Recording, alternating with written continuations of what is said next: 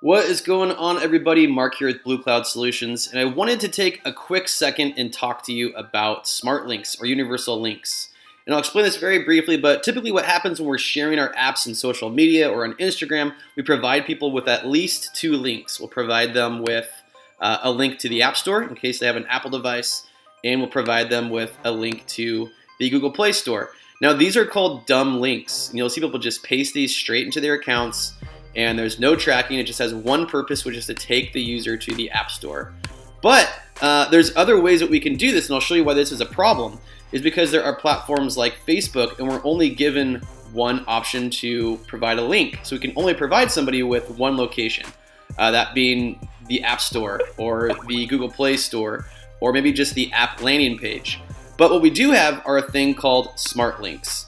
And what smart links do is they'll take any device, whether it's an iPhone or a tablet or a, or a Google device, or sorry, an Android device or a desktop, and they'll point all of these devices into the right location. So if you're using an Android device, they'll point you to the Google Play Store, Apple device, to the App Store, and so on.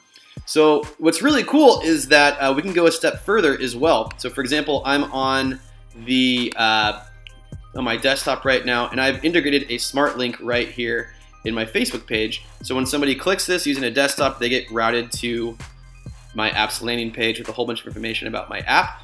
Um, if you were using an Apple device and you click this, this smart link, you'd be taken to the App Store, uh, an Android device taken to the Google Play Store, and so forth.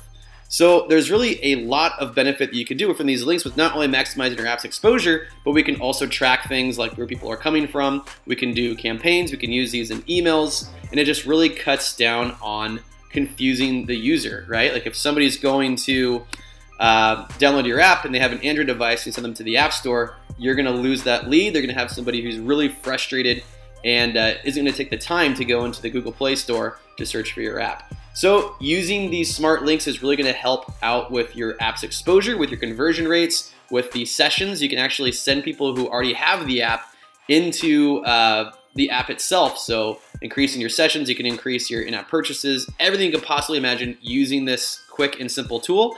And the way you can create smart links is using, there's lots of tools that do this. I use AppsFlyer, a function called OneLink. I'm not affiliated to this at all. It's just really easy. It's free. It takes about three steps. Um, you don't need any coding to do it.